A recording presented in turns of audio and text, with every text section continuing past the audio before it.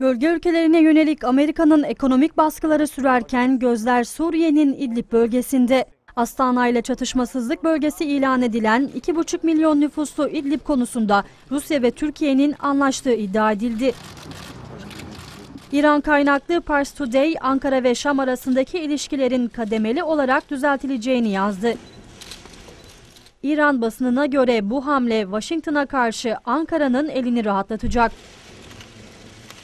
Öte yandan PKK-PYD'nin paravan örgütü SDG'den açıklama yapıldı.